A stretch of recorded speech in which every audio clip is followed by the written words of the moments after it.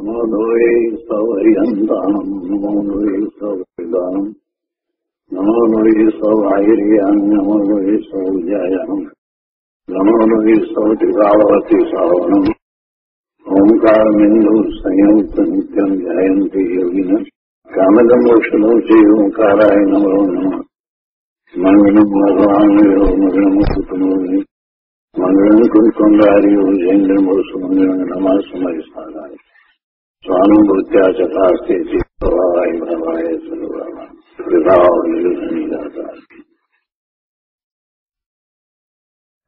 નિયમસાર ભગવાન કુંકુંદાચાર્ય રચિત નિયમસાર તથા મુનિવર પદ્મપ્રબલધારી દેવ રચિત તાત્પર્ય વૃત્તિ ટીકા એનો સ્વાધ્યાય ચાલે છે એમાં છેલ્લો અધિકાર શુદ્ધ ઉપયોગ અધિકાર એની ગાથા એકસો ચોર્યાસી સુધી આપણે સ્વાધ્યાય પૂરો કર્યો છે ગાથા એકસો ચોર્યાસી પછીથી મુનિરાજ પદ્મપ્રમલધારી દેવ એક કળશ કહે છે, શ્લોક ત્રણસો ચાર. તો ત્યાંથી આજે સ્વાધ્યાય શરૂ કરીએ છીએ. કળશ ત્રણસો ચાર. ત્રિલોક શિખરા દુર્ધર્મ જીવ પુદ્ગલયો દ્વયો ન એવ ગમનમ નિત્યમ ગતિ હેતુ ભવત શ્લોકના અર્થમાં કહે છે કે ગતિ હેતુના અભાવને લીધે સદા ત્રિલોકના શિખરથી ઊંચે જીવ અને પૂતગળ બંનેનું ગમન હોતું નથી જ। ગતિ હેતુના અભાવને લીધે, ગતિ હેતુનું નિમિત્ત કારણ નથી. એટલે કે ધર્માસ્તિકાય નથી. અને તેથી ત્રિલોકના શિખરથી ઊંચે, એટલે કે લોકાકાશના અગ્રસ્થાનથી ઉપર આગળ, જીવ અને પૂતગળ બંનેનું ગમન થતું નથી. આનો વિસ્તાર અગાઉ આવી ગયો છે એટલે વધુ વિસ્તારની જરૂર નહીં લાગતા. ગુરુદેવે કોઈ ખાસ વિસ્તાર કર્યો નથી. પણ મૂળ વાત તો એ છે કે આ વ્યવહારને એનું કથન છે. ગુરુદેવે બહુ સ્પષ્ટતા કરી છે કે જીવ દ્રવ્ય અને પૂતગળ દ્રવ્ય બંને લોકનું દ્રવ્ય છે અને એ લોકના દ્રવ્ય લોકાકાશને વિશે જ રહે છે. એ અલોકાકાશમાં જતા નથી. બીજી રીતે કહીએ તો નિશ્ચયથી તો વસ્તુ સ્વરૂપ જ એવું છે કે આત્મા પોતે પોતાના ક્ષેત્રને વિશે જ રહ્યો છે. લોકાકાશના જે ક્ષેત્રને વિશે રહ્યો છે, સંસાર અવસ્થામાં જે કોઈ ક્ષેત્રને વિશે રહ્યો છે, અને સિદ્ધ અવસ્થામાં લોકાકાશના અગ્રસ્થાને રહ્યો છે. તો એમ જે કહેવામાં આવે, એ પણ વ્યવહાર છે. ભગવાન આત્મા તો પોતાના અસંખ્ય પ્રદેશને વિશે જ રહ્યો છે અને દરેક દ્રવ્ય પોતે પોતાના ક્ષેત્રને છોડીને બીજે ક્યાંય જતું જ નથી. પણ લોકાકાશના ક્ષેત્રને વિશે, ક્ષેત્રાંતર થવાથી એ ગતિ થઈ એમ કહેવામાં આવે છે અને એવી ગતિ થાય એમાં નિમિત્ત કારણ રૂપે ધર્માસ્તિકાય હોય છે ધર્માસ્તિકાય એ કાંઈ ગતિ કરાવતું નથી. હવે એ પછીથી કુંકુંદાચાર્ય ભગવાનની ગાથા એકસો પંચ્યાસી. નિયમ ફલમ નિણિદિત્તમ પયણશ ભણિત પૂર્વાવરદ વિરોધો યદિ અવર્ણીય પૂરયંતુ સમેણ સંસ્કૃતમાં ગાથા છે નિયમો નિયમસ્ય ફલમ નિર્દિષ્ટમ પ્રવચનસ્ય ભક્તવા પૂર્વાપર વિરોધો યદ્યપનીય પશ્યંતુ સમયજ્ઞા ગુજરાતીમાં ગાથા છે પ્રવચન સુભક્તિ થકી કહ્યા મેં નિયમ ને તત્ફળ અહો. યદિ પૂર્વ અપર વિરોધ હો સમયજ્ઞ તે સુધારજો.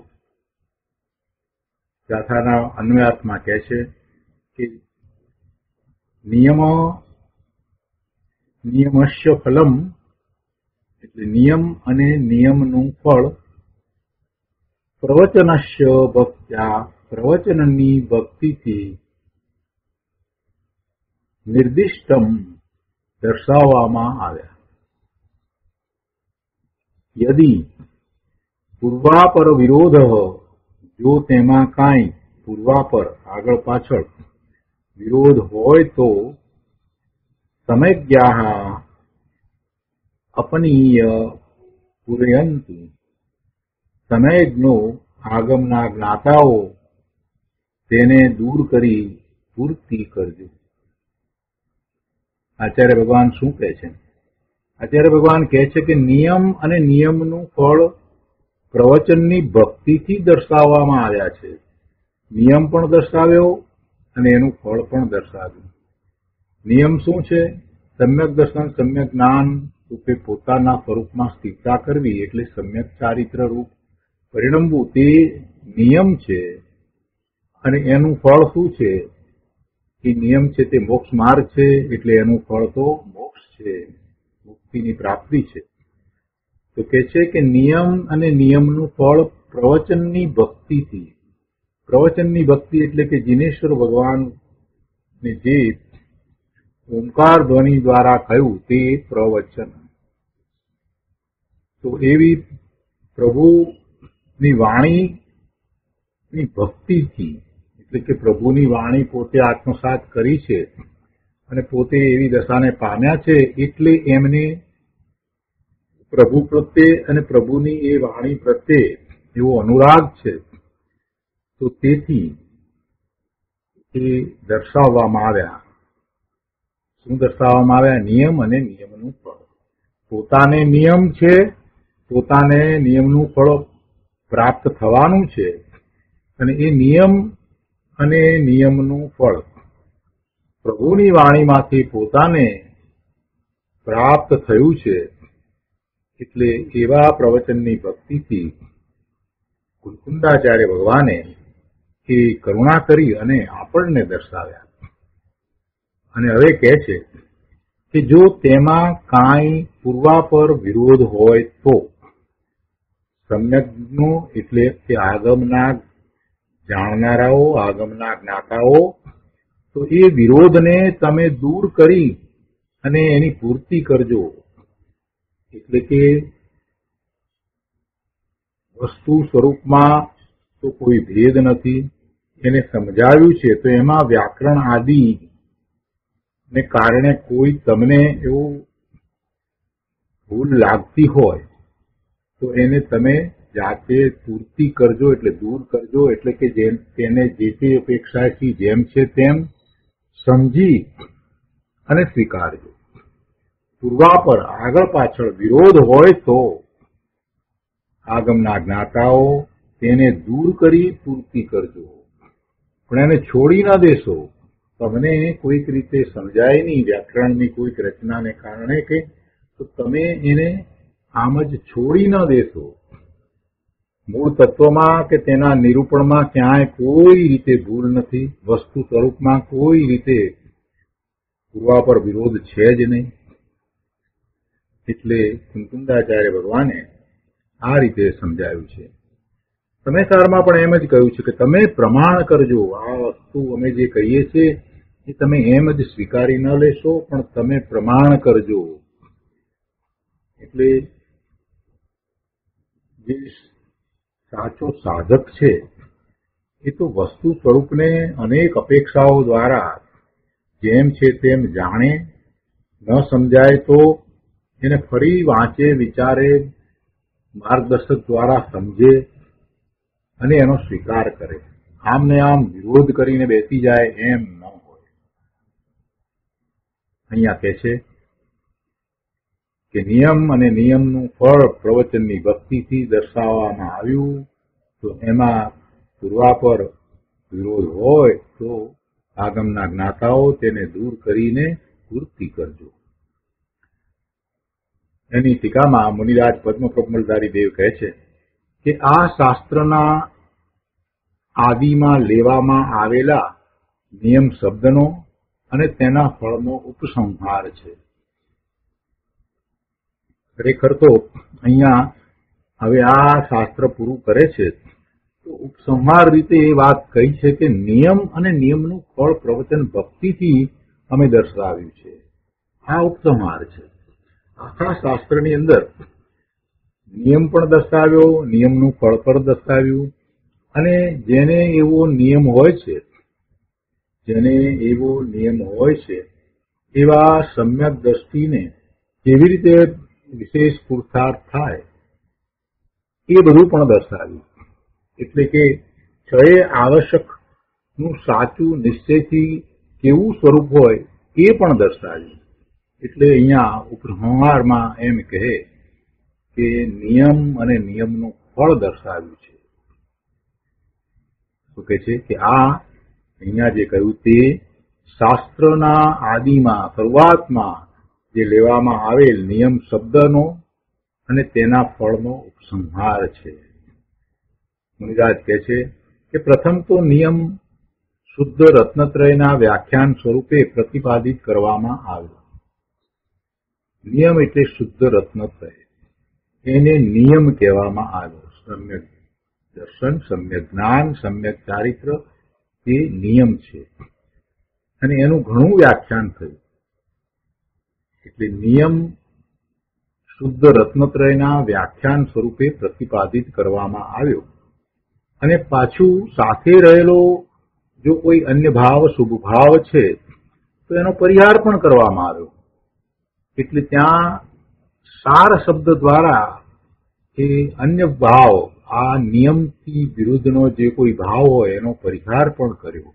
એમ નિયમ સાર તેવું આ શાસ્ત્રનું નામ આપવામાં આવ્યું.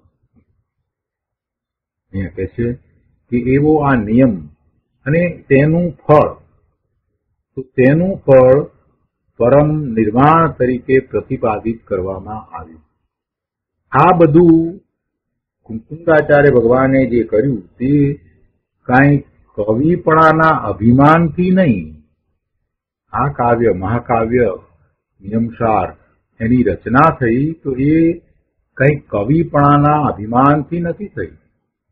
પણ પ્રવચનની ભક્તિથી એ પ્રતિપાદિત કરવામાં આવ્યું છે. કુંકુંદાચાર્ય ભગવાનને એવી પ્રવચનની ભક્તિ અંદરમાં થઈ તેથી થઈ.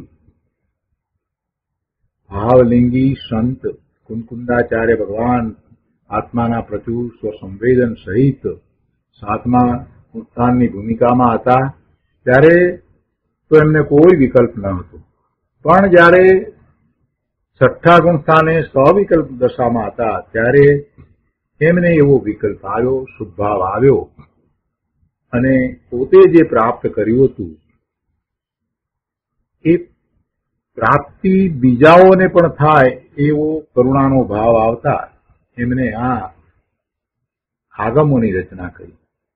જે જીનેશ્વર ભગવાનની વાણીમાંથી આવ્યા છે એવા આગમની રચના કરી.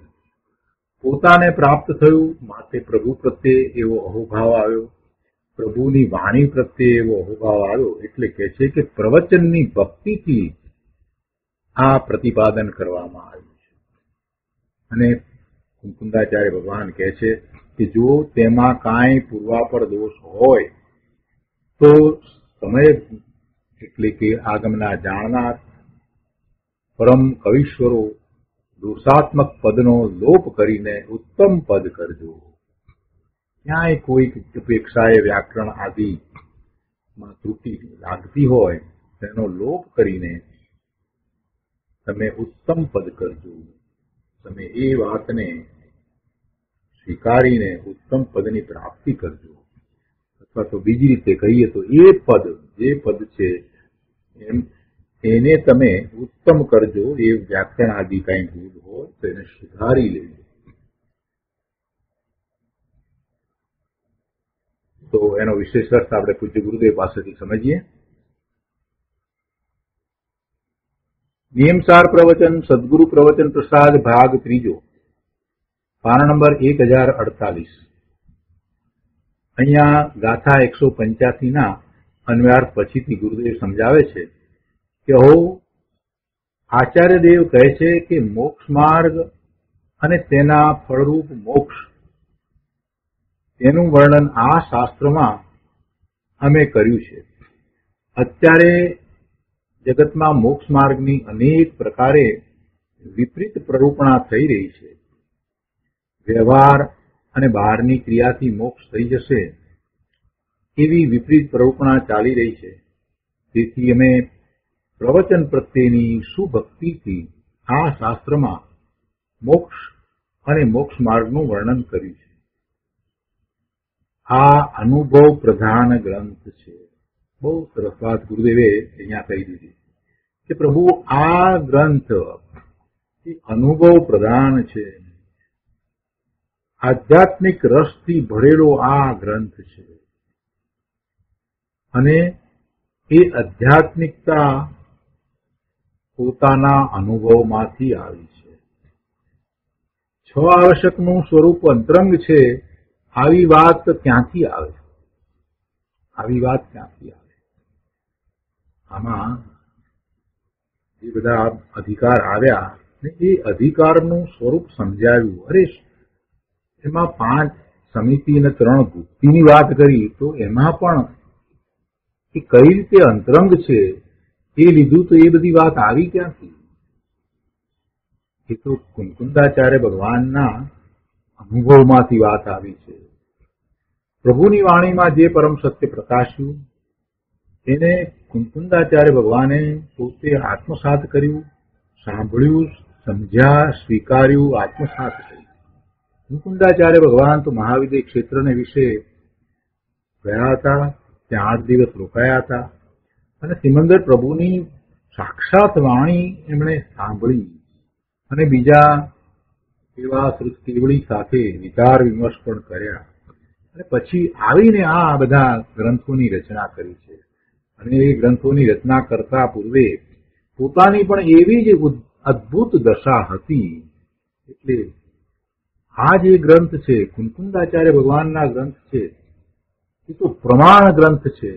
અને કુંકુંદાચાર્ય ભગવાન પછી જેટલા આચાર્ય ભગવાન થયા, જેટલા ઉપાધ્ય થયા, જે નિર્ગ્રંથ દિગંબર મુનિ થયા, એ બધાએ કુંકુંદાચાર્ય ભગવાને જે વાત કહી છે, આ ગ્રંથોમાં જે વાત કહી છે, એને સ્વીકારી છે. અને બધાએ એમ કહ્યું છે કે જે કુંતુંદાચાર્ય ભગવાને જે આપ્યું છે તે દ્વારા અમે પ્રાપ્ત કર્યું છે. એટલી બધી વાત કહી દીધી છે.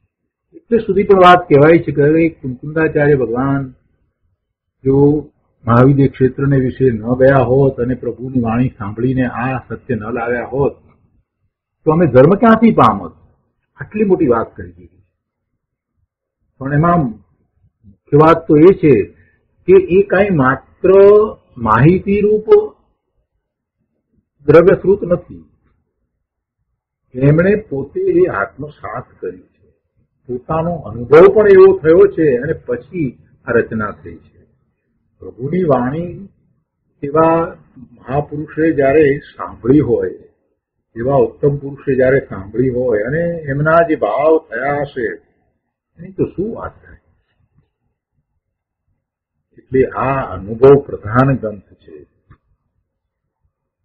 આ અનુભવ પ્રધાન ગ્રંથ છે. ગુરુદેવ કહે છે કે આ તો બહુ મહાન ગ્રંથ છે. નિયમસારની તો શું વાત કરી? અને કુંદાચાર્ય ભગવાને પણ પછી આગળ કાથામાં વાત આવે છે કે એમણે આ પોતે આ ગ્રંથની રચના જે કરી છે એ ખરેખર તો પોતાને માટે કરી છે. અહીંયા પણ એ વાત તો દર્શાવીને કે પ્રવચનની ભક્તિથી આ રચના અમે કરી છે. કે આ અનુભવ પ્રધાન ગ્રંથ છે. તેમાં તત્વના વિષયમાં તો ભૂલ નહીં આવે. સુદેવ કહે છે કે એમાં તત્વના વિષયમાં તો ક્યારેય કોઈ ભૂલ હોઈ શકે જ નહીં. અનુભવની વાત છે. માત્ર આગમના અર્થ નથી કર્યા, માત્ર પંડિતાઈ નથી કરી. પરંતુ એને આત્મસાત કરી અને પછી એ મહાપુરુષે, એ કુંજુંદાચાર્ય ભગવાને આ રચના કરી છે. એટલે એમાં તત્વના વિષયમાં તો ભૂલ શક્ય જ નથી. તત્વના વિષયમાં તો ભૂલ હોય જ નહીં. પણ ક્યાંક શબ્દોની રચનામાં ફેર હોય. તો સમયના જાણનારાઓએ એ સુધારી લેવો. આગળ કે છે કે શુદ્ધ રત્નત્રય તે નિયમ છે. અને તે મોક્ષ માર્ગ છે. શુદ્ધ રત્નત્રય, નિશ્ચય રત્નત્રય તે નિયમ છે.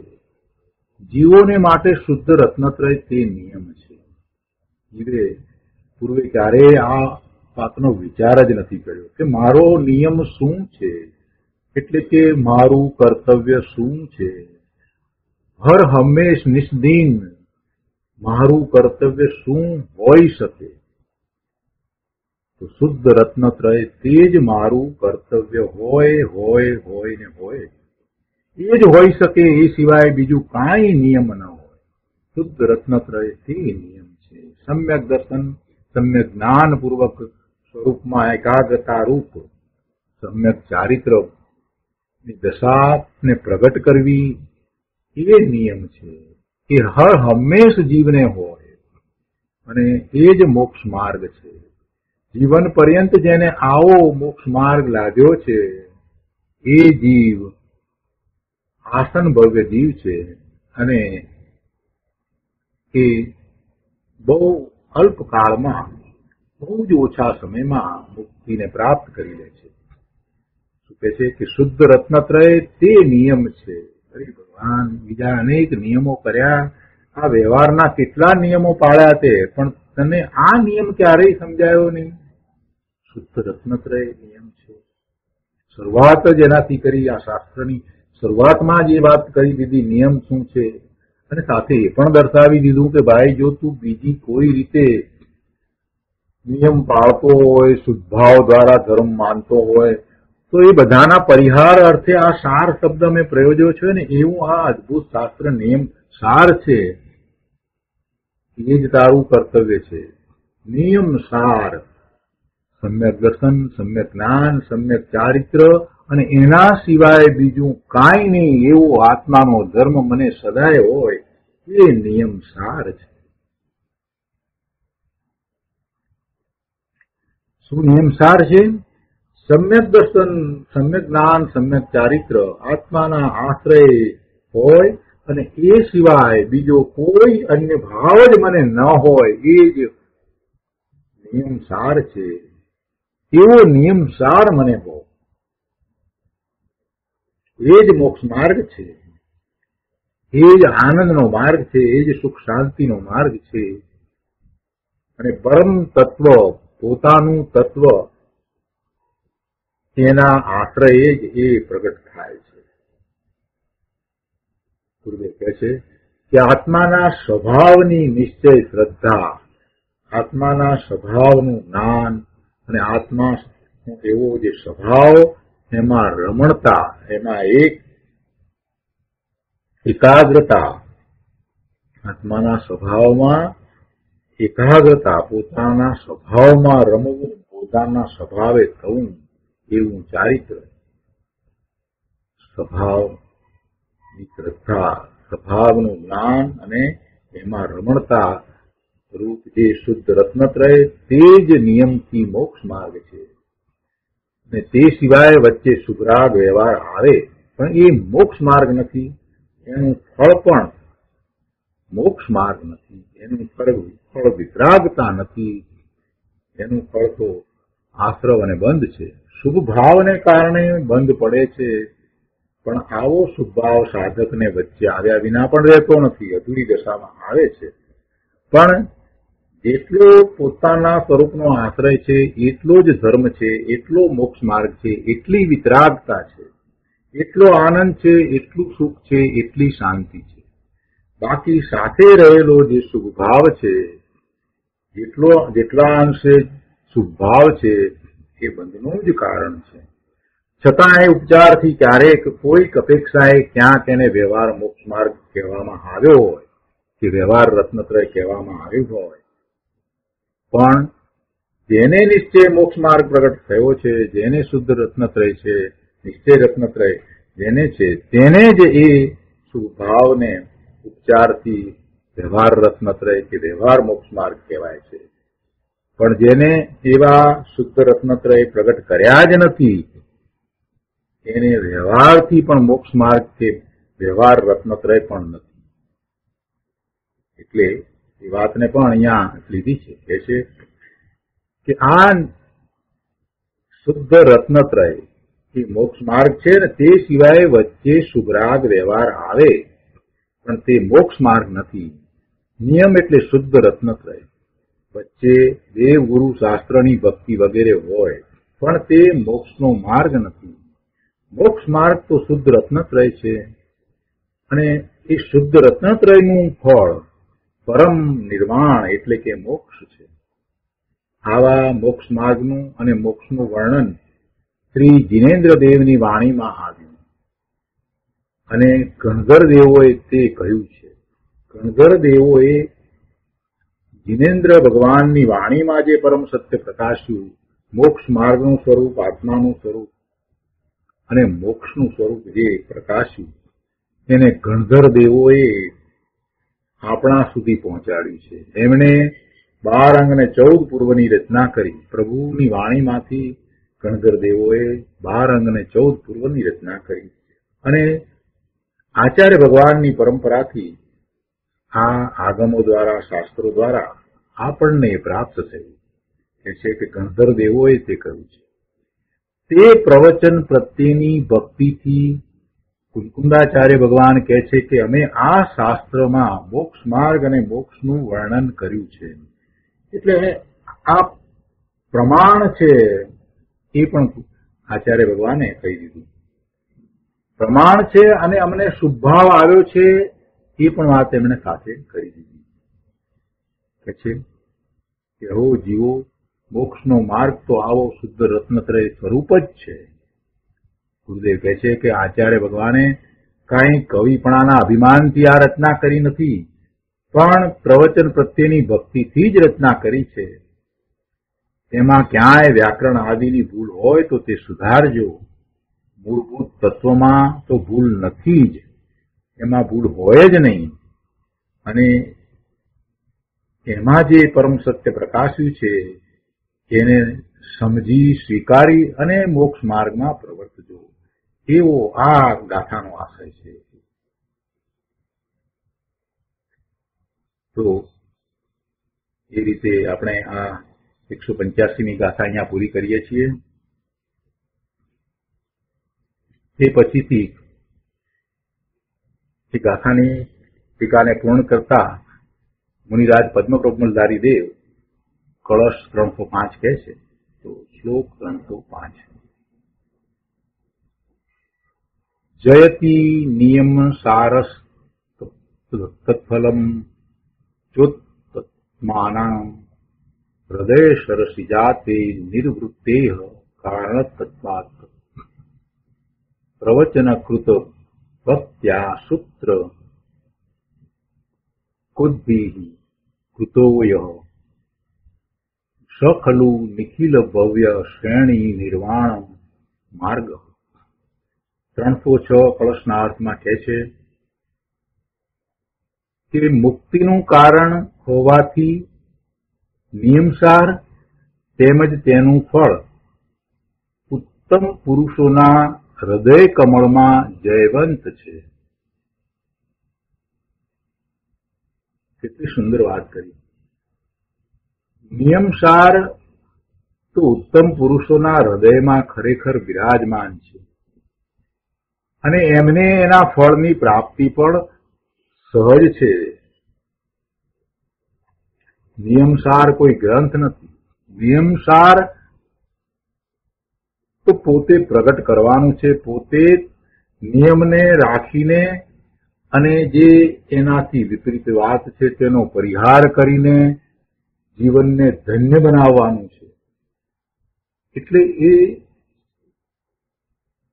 કોઈ કવિની રચના નથી.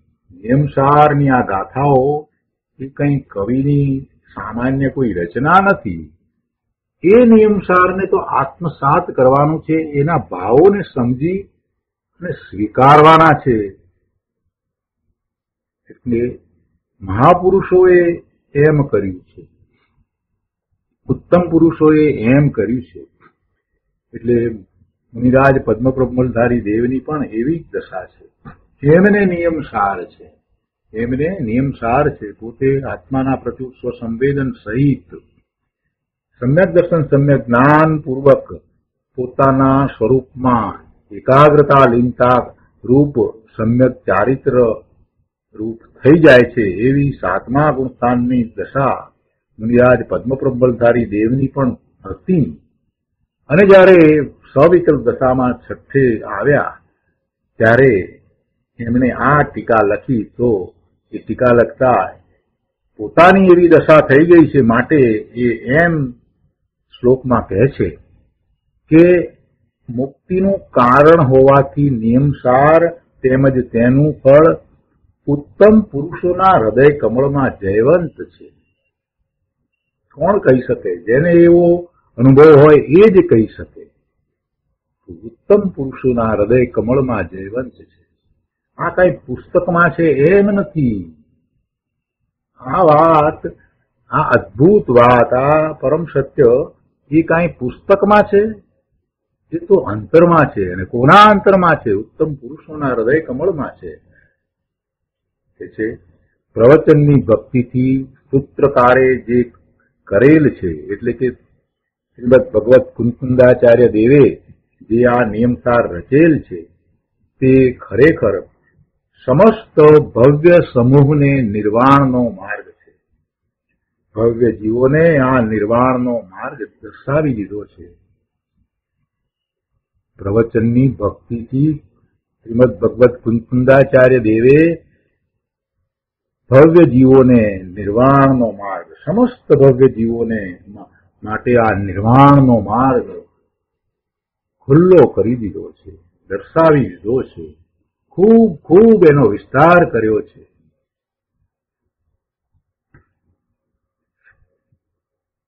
તો એનો વિશેષ ગુરુદેવ પાસેથી સમજીએ.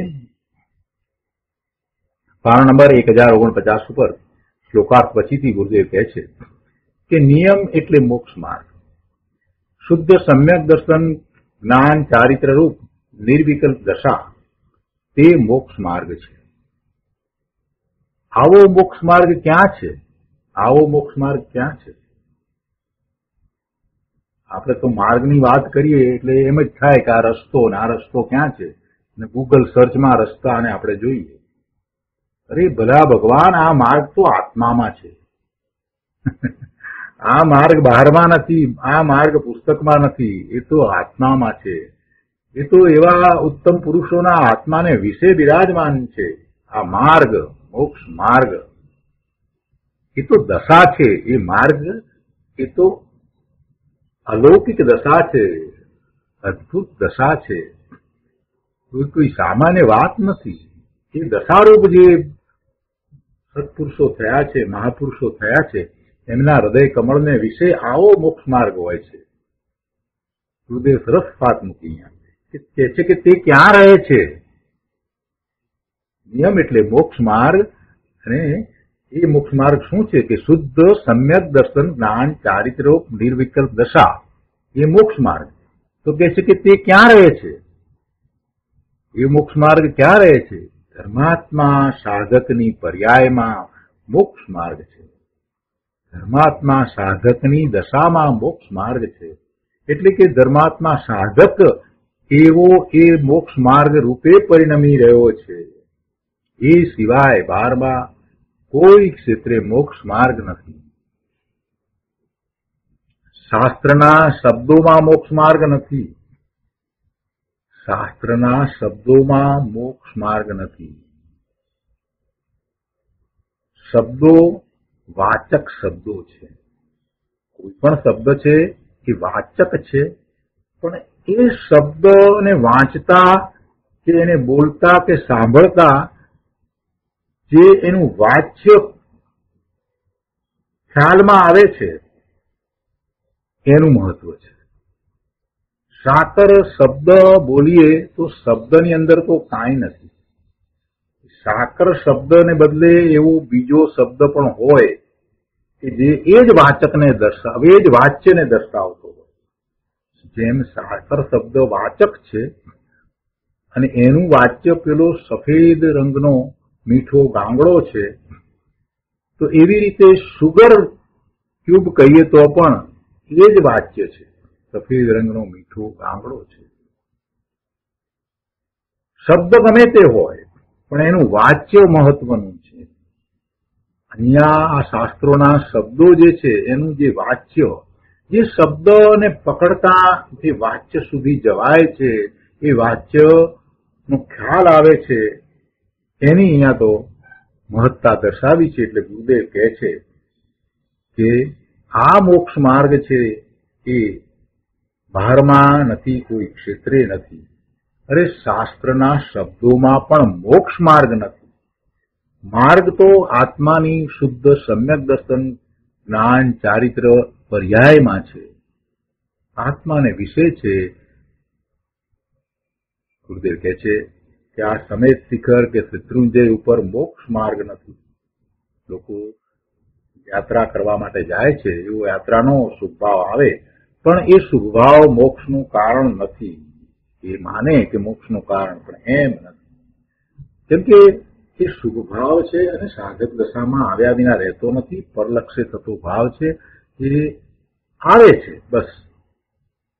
પણ એ કાંઈ મોક્ષ માર્ગ નથી. મોક્ષ માર્ગ અને તેનું ફળ તો ઉત્તમ પુરુષોના હૃદયમાં વસે છે. મોક્ષ માર્ગ અને તેનું ફળ. તેનું ફળ પણ ક્યાંય બહાર નથી આવતું. પોતાની દશામાં એ ફળ પ્રાપ્ત થાય છે. ફળ શું છે? મુક્તિ, પૂર્ણ દશા. મોક્ષની દશા. એ પોતાની દશામાં એક વખત પ્રાપ્ત થઈ જાય પછી એ જતું નથી. એવું એ ઉત્તમ ફળ છે. મોક્ષ માર્ગ અને તેનું ફળ તો ઉત્તમ પુરુષોના હૃદયમાં વસે છે. સિદ્ધ દશા કેવી હોય તેનું જ્ઞાન ઉત્તમ પુરુષોને, એટલે કે ધર્મી જીવોને, વર્તે છે. એમને એવું જ્ઞાન હોય છે અને એવો જ એમને પુરુષાર્થ પણ હોય છે. માટે કહ્યું કે ધર્મીના હૃદયમાં મોક્ષ વસે છે. રત્નકરણ શાળકાચારમાં કહે છે કે ન ધમવું ધાર્મિક કઈ વિજ્ઞાન ધર્મી એવો આત્મા તેના વિના ધર્મ રહેતો નથી.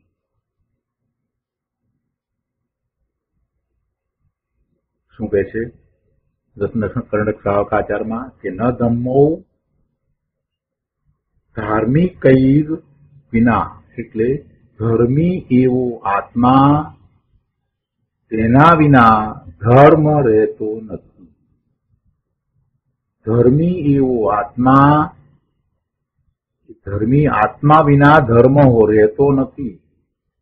એટલે કે ધર્મ તો ધર્મીના સ્વરૂપમાં વ્યાજે છે, ધર્મીના આત્મામાં રહ્યો છે. એવા ધર્મી પ્રત્યે જેને પ્રેમ નથી, તેને ધર્મનો પ્રેમ નથી. કેમ કે ધર્મ તો ધર્મીના આત્મામાં રહ્યો છે. એટલે તો એનો નાશ ક્યારેય થતો નથી. કોઈ ને કોઈ જીવ તો તેરમા ગુણસ્થાનની દશામાં છે છે ને છે, હોય જ છે. શાશ્વત ગુણસ્થાનની વાત કરીએ છીએ ને તો તેરમું ગુણસ્થાન તો જગતમાં કાયમ છે. એટલે પૂર્ણ દશારૂપ ધર્મ પ્રભુના આત્મામાં હોય છે. અને એવા પ્રભુ તો જયવંત છે. કોઈ ને કોઈ જીવ એ સ્થાને હોય જ છે. મહાવીર ક્ષેત્રમાં ક્યારેય એવું હોતું નથી કે તીર્થંકર ન હોય. ઓછામાં ઓછા વીસ તીર્થંકર હોય. અરે પ્રભુ, વીસ તીર્થંકર હોય એટલે શું? દરેક તીર્થંકરના સમોસરણમાં કેટલાય કેવળી ભગવાન પણ બિરાજમાન હોય. પરમેશ્વર બિરાજમાન હોય. કે કેટલા બધા જીવો તેરમા ગુણસ્થાને હોય. એક જીવની વાત નથી. જગતમાં કેટલા બધા જીવો તેરમા ગુણસ્થાનની દશામાં અર્યંત દશામાં હોય છે. એનો જરાક વિચાર કરીએ તો આપણને થાય કે જો એટલા બધા જીવો તીરમા ગુણસ્થાનની દશામાં હોય, તો પછી ત્યાં સાથે બીજા જીવો સાતમે, છઠ્ઠે ઝૂલતા મુનિરાજો અવશ્ય હોય જ. એવા એ જ ભવમાં મોક્ષે જનાર એવા ભવ્ય પણ ત્યાં બિરાજમાન જરૂરથી હોય જ.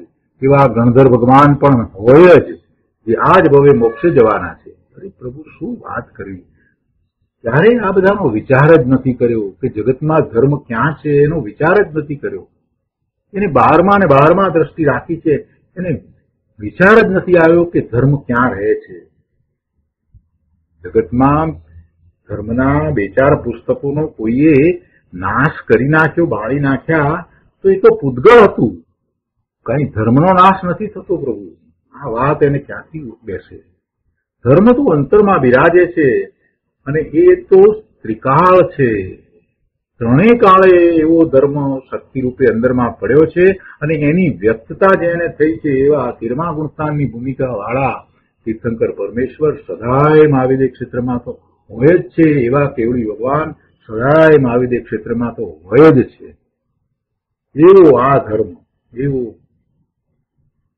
ધર્મ. એની આ વાત છે. તો એ, તો આત્માના આત્માને વિશે છે એટલે ધર્મીના હૃદય કમળમાં છે. આત્માનો ધર્મ તો આત્માના આધારે થાય છે. કે છે અહીંયા બહુ સરસ વાત છે. રત્નકર્ણ શ્રાવક આચારમાં એમ કે છે કે ધર્મી એવો આત્મા તેના વિના, એટલે ધર્મી આત્મા વિના ધર્મ રહેતો નથી. હવે ધર્મી આત્મા તો કાયમ સદાય હોય જ છે, એટલે ધર્મ સદાય હોય જ છે. એવા ધર્મી પ્રત્યે જેને પ્રેમ નથી, તેને ધર્મનો જ પ્રેમ નથી. આવા જીનેશ્વર ભગવાન, આવા કેવળી ભગવાન, આવા ગણધર ભગવાન આવા મુનિરાજો પ્રત્યે જેને પ્રેમ નથી એને ધર્મનો જ પ્રેમ નથી. આત્માનો ધર્મ તો આત્માના આધારે થાય છે. સમ્યક દર્શન જ્ઞાન ચારિત્ર રૂપ ધર્મ તો ધર્મી જીવની પર્યાયમાં છે. એની દશામાં એ છે.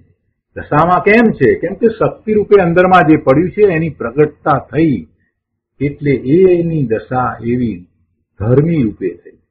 ધર્મ અંદરમાં હતો એ પ્રગટ થયો છે. એમ એ ધર્મીની દશા છે. સમ્યક દર્શન જ્ઞાન ચારિત્ર રૂપ ધર્મ તો ધર્મી જીવની પર્યાયમાં છે. સમ્યક દર્શન જ્ઞાન ચારિત્ર રૂપ ધર્મ અંદરમાં શક્તિ રૂપે તો બધા જીવને પડ્યો છે. બધા આત્માને વિશે છે. પણ જેણે એ પર્યાયમાં પ્રગટ કર્યું છે તે ધર્મી છે. તે મોક્ષ માર્ગી છે. એટલે એની પર્યાયમાં ધર્મ છે. ધર્માત્માના હૃદયમાં સિદ્ધો વસે છે. સિદ્ધોએ તો એ પૂર્ણપણે પ્રગટ કર્યું છે, એટલે અહીંયા એમ કે છે કે ધર્માત્માના હૃદયમાં સિદ્ધો વસે છે. અમે જે મોક્ષ માર્ગ કયો તે મોક્ષ માર્ગ અને તેનું ફળ જગતમાં જયવંત વર્તો. એટલે આચાર્ય દેવ કહે છે કે હો, અમને જે સ્વભાવના આશ્રય મોક્ષ માર્ગ પ્રગટ્યો તે જયવંત વર્તો. સ્વભાવના આશ્રય જે મોક્ષ માર્ગ પ્રગટ્યો તે જયવંત વર્તો જે મોક્ષ માર્ગ પ્રગટ્યો તે મોક્ષ માર્ગ વચ્ચે વિઘ્ન વગર વચ્ચે પ્રતિહતપણા વગર જયવંત વર્તો જે મોક્ષ માર્ગ પ્રગટ્યો તે મોક્ષ માર્ગ જયવંત વર્તો વચ્ચે વિઘ્ન નહીં, વચ્ચે પ્રતિહતપણું પણ નહીં. પ્રતિહતપણું એટલે પાછા પડવું. વિઘ્ન વિના અને પાછા પડ્યા વિના એ જયવંત વર્તો. અને તેના ફળરૂપ મોક્ષ પણ જયવંત વર્તો. અમારા આત્મામાં મોક્ષ માર્ગ પ્રગટ્યો છે તે જયવંત વર્તો. અને જગતમાં તેવો મોક્ષ માર્ગ પણ ઉત્તમ પુરુષોના આત્મામાં જયવંત વર્તો. આ રીતે મોક્ષ માર્ગ અને મોક્ષ જયવંત વર્તો.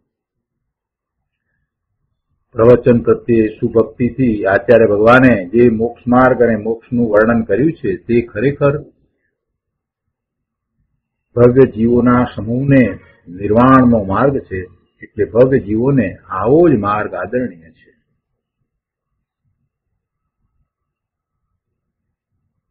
તો એ રીતે એ કળશ ત્રણસો પાંચ અહીંયા પૂરો થાય છે. હવે ત્રણસો પાંચ વર્ષ પછીથી મુકુંદાચાર્ય ભગવાનની ગાથા એકસો છ્યાસી છે. હવે તો છેલ્લી ગાથાઓ છે, એટલે ઉપસંહાર અને જે પ્રયોજનભૂત વાત છે, એને અહીંયા કહી દીધી છે. ખૂબ વર્ણન કર્યા પછીથી જે વાત મહત્વની છે, એ ટૂંકમાં કહી દીધી છે. અને ગુરુદેવે પછી એનો વિસ્તાર પણ ઘણો કર્યો છે. જાણે કે આખું શાસ્ત્ર પછી એક પ્રવચનની અંદર કહી દીધું. તો એકસો છ્યાસીમી ગાથાનો વિસ્તાર ગુરુદેવે ઘણો કર્યો છે. પહેલા એક પ્રવચનમાં અને પછી ત્યાર પછીથી બીજા દિવસના પ્રવચનમાં તો જાણે કે આખા શાસ્ત્રનો સાર આપી દીધો હોય એવી રીતે. કેમ કે ગાથા એવી છે, એમાં ભાવ પણ એવા ભર્યા છે એટલે ગુરુદેવે સહજ રીતે બધું વર્ણન કર્યું છે. તો ગાથા એકસો છ્યાસી લઈએ આપણે.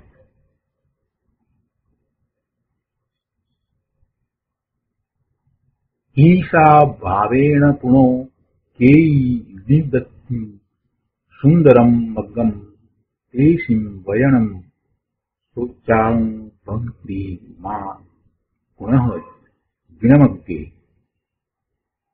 સંસ્કૃતમાં ગાથા છે ઈર્ષા ભાવેન પુનઃ કેચિન નિંદત્તિ સુંદરમ માર્ગમ તેસા વચનમ શ્રુતા અભક્તિમ મા ક્રુદ્વમ માર્ગ ગુજરાતીમાં ગાથા છે કે પણ કોઈ સુંદર માર્ગની નિંદા કરે ઈર્ષા વડે તેના સુણી વચનો કરો ન અભક્તિ જીન માર્ગ વિશે આવો આ સુંદર માર્ગ મોક્ષનો માર્ગ એની કોઈ ઈર્ષા વડે નિંદા કરે તો એના વચનોને સાંભળશો નહીં એનું લક્ષ કરશો નહીં અને આવા માર્ગની અભક્તિ ન કરશો. એવો આખો ભાવ અહીંયા દર્શાવ્યો છે કે જે સુંદર માર્ગ એની ઘણી વાત ગુરુદેવે લીધી છે. કેમ કે સુંદર માર્ગની વાત લીધી છે ને. સુંદર મગ્ગમ મૂળ ગાથામાં શબ્દ છે ને. તો અનિવાર્થમાં કહે છે કે પુનઃ ઈર્ષા ભાવે કે ચિત્ત એટલે કે છે કે પરંતુ ઈર્ષાભાવથી કોઈ લોકો સુંદરમ માર્ગમ નિંદંતી. સુંદર માર્ગને નિંદે છે. તેસા વચનમ શ્રુત્વા તેમના વચન સાંભળીને જીન માર્ગે અભિક્તિમમાં કૃત્વમ. જીન માર્ગ પ્રત્યે અભક્તિ ન કરજો. પરંતુ ઈર્ષાભાવથી કોઈ લોકો સુંદર માર્ગને નિંદે છે. તો તેમના વચન સાંભળીને જીન માર્ગ પ્રત્યે અભક્તિ ન કરજો. શિખામણ આપી છે, ઉપદેશ આપ્યો છે. આવા મોક્ષ માર્ગને જેનું અમે અત્યાર સુધી વર્ણન કરતા આવ્યા છીએ, એ મોક્ષ માર્ગને કોઈ એવા મિથ્યાદ્રષ્ટિ મૂંડ કુગુરુની વાણી સાંભળીને તમે તજી ન દેતા કે એની અભક્તિ ન કરતા, કે એની નિંદા ન કરતા. બહુ સરસ વાત કરી છે. અને એ એ શિખામણ કોને આપવામાં આવી છે? એ શિખામણ ભવ્ય જીવને આપવામાં આવી છે. તો ટીકામાં મુનિરાજ પદ્મપદ્મધારી દેવ કહે છે કે અહીં ભવ્યને શિખામણ દીધી છે. ભવ્ય જીવ જે મોક્ષ માર્ગમાં પ્રવર્તવા માટે સક્ષમ છે, જે પોતે જ્ઞાન ભાવે થઈ શકે છે, તે ભવ્ય છે. ભવ્ય કોણ છે? કે જે પોતે જ્ઞાન ભાવે થઈ જાય છે, પોતે ભગવાન આત્મા જ્ઞાન સ્વરૂપ છે ને જ્ઞાન ભાવે પોતે પરિણમી શકે છે, એ ભવ્ય છે. એવા ભવ્યને અહીંયા શિખામણ દીધી છે. કે છે કે કોઈ મન બુદ્ધિઓ ત્રિકાળ, નિરાવરણ, નિત્ય, આનંદ જેનું એક લક્ષણ છે એવા નિર્વિકલ્પ, નિજ કારણ પરમાત્મ તત્વના સમ્યક શ્રદ્ધાન, જ્ઞાન, અનુષ્ઠાન રૂપ શુદ્ધ રત્નત્રયથી પ્રતિપક્ષ, એનાથી વિરુદ્ધ મિથ્યાત્વ, કર્મ ઉદયના સામર્થ વડે મિથ્યા દર્શન જ્ઞાન ચારિત્ર પરાયણ વર્તતા થકા ઈર્ષાભાવથી તથા મત્તરયુક્ત પરિણામથી સુંદર માર્ગને પાપ ક્રિયાથી નિવૃત્તિ જેનું લક્ષણ છે એવા ભેદ ઉપચાર રત્નત્રયાત્મક અને અભેદ ઉપચાર રત્નત્રયાત્મક સર્વજ્ઞ વિતરાગના માર્ગને નિંદે છે તે સ્વરૂપ વિકળ સ્વરૂપ પ્રાપ્તિ રહિત જીવોના કુહેતુ કુદ્રષ્ટાંત યુક્ત કુતર્ક વચનો સાંભળીને દિનેશ્વર પ્રણીત શુદ્ધ રત્નત્રય માર્ગ પ્રત્યે હે ભવ્ય અભક્તિ ન કરજે પરંતુ ભક્તિ કરજે ભક્તિ જ કર્તવ્ય છે ભક્તિ એટલે એવા માર્ગની ભક્તિ એટલે એવા માર્ગ પ્રત્યેનો અહોભાવ એવા માર્ગમાં જે પ્રવર્તે એને જ એના પ્રત્યે અહોભાવ આવે તો એનો વિશેષ અર્થ આપણે પૂછ્ય ગુરુદેવ પાસેથી સમજીએ, બહુ સુંદર રીતે એક જ વાક્યમાં મુનિવર પદ્મપ્રમલધારી દેવે તો કહી દીધું કે એવા એ કુબુદ્ધિઓ કે મન બુદ્ધિઓ કે ઈર્ષાભાવથી કે ગમે તે રીતે મિથ્યા માર્ગ અને એ મિથ્યા માર્ગ કે ઈર્ષાભાવથી હોય કે મત્સરવી કોઈ પણ રીતે એ દર્શાવી રહ્યા હોય, તો એને તું લક્ષમાં લઈ અને આ ભવ્ય મોક્ષ માર્ગ જે છે, એના પ્રત્યેની ભક્તિને છોડી નહીં દેતો. તો ગુરુદેવ પાસેથી એનો વિશેષ અર્થ સમજીએ. પાના નંબર એક હજાર પચાસ. અહીંયા ગાથા એકસો છ્યાસીના અન્વયાર્થ પછીથી ગુરુદેવ કહે છે કે, અહો, અમે મોક્ષનો જે માર્ગ વર્ણ્યો તે જ માર્ગ આદરણીય છે. આનંદ કંદ આત્મામાં ઝૂલતા મુનિ દશામાં આ મોક્ષ માર્ગનું વર્ણન કર્યું છે. જગતમાં કોઈ તેની નિંદા કરે તો હે ભવ્ય, તું આ માર્ગ પ્રત્યે અભક્તિ કરીશ નહીં.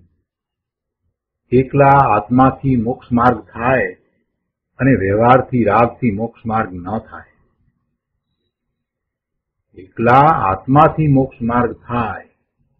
મોક્ષ માર્ગમાં પરની અપેક્ષા નથી. એકલા આત્માથી મોક્ષ માર્ગ થાય. એને પરની અપેક્ષા નથી. ધર્મ કરવામાં પરની અપેક્ષા નથી. ધર્મ કરવામાં કોઈ વિકલ્પોની શરીરની પરની અપેક્ષા હોય નહીં. ધર્મ તો પોતાથી જ થાય. એકલા આત્માથી મોક્ષ માર્ગ થાય. અને વ્યવહારથી ને રાગથી મોક્ષ માર્ગ ન થાય. મોક્ષ માર્ગી મુનિઓને સદા નગ્ન દિગંબર દશા હોય છે.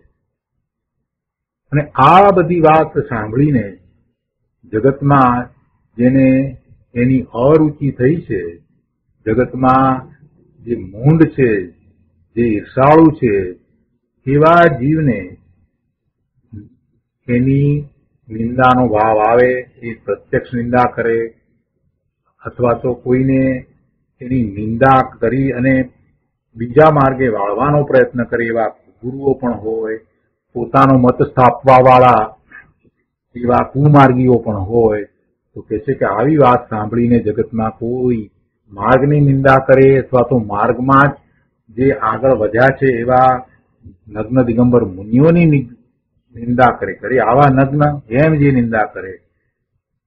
અથવા તો દિનેશ્વર ભગવાનની નિંદા કરે. તો કહે છે કે એની સામું જોઈશ નહીં. એની સામું જોઈશ નહીં. એની વાતને સાંભળીશ નહીં.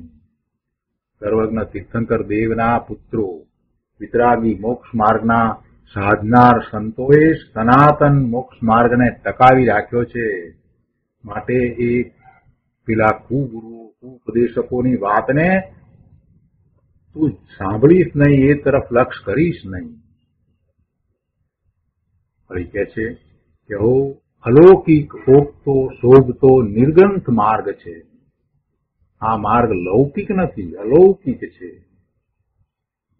અને શોભા તો એની એ છે કે એ માર્ગે જનારને લોકમાં ક્યાંય ન હોય એવા અલૌકિક આનંદનું વેદન થાય છે. એટલે એ અલૌકિક ઓગતો શોભતો, નિર્ગંથ માર્ગ છે. તો એવા માર્ગને વિશે કોઈ ભ્રમણાને કારણે ઈર્ષાવશ, માયાવશ, કપટવશ કોઈ પણ કારણથી એની નિંદા કરે, તો તું તેની સામું જોઈશ નહીં. વિતરાગ માર્ગ પ્રત્યેની તારી ભક્તિ તું જાળવી રાખજે. વિતરાગ માર્ગ પ્રત્યેની તારી ભક્તિ તું જાળવી રાખજે. માત્ર ભક્તિ એટલે એના વર્ણન કરવા એમ નહીં. ભક્તિ એટલે એના પ્રત્યેની તારી શ્રદ્ધા એવી એવી જાળવી રાખજે વિતરાગ માર્ગ પ્રત્યેની તારી શ્રદ્ધા એવી એવી તું જાળવી રાખજે. જેમ દીકરાને શિખામણ આપે, તેમ કુંકુંડાચાર્ય ભગવાન અહીંયા આપણને શિખામણ આપે છે કે, હે ભવ્ય જીવ, તું ધ્યાન રાખજે. જે આ મોક્ષ માર્ગ થયો, તે સિવાય બીજો કોઈ મોક્ષનો માર્ગ જગતમાં નથી. આવો સ્પષ્ટ મોક્ષ માર્ગ ગુરુદેવ કહે છે કહો આવો સ્પષ્ટ મોક્ષ માર્ગ છતાં જગતના જીવો તેને કેમ નથી માનતા અને ઈર્ષાથી તેની નિંદા કેમ કરે છે?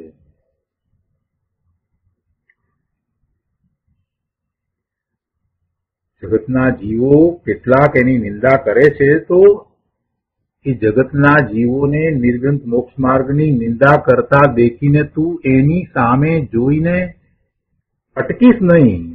ક્યાંય એવો વિકલ્પ પણ ન લાવીશ કે આ શું કહે છે. પણ એવા મોક્ષ માર્ગ પ્રત્યેની તારી અખંડ ભક્તિ રાખજે, એની શ્રદ્ધાને ખંડિત કરીશ નહીં.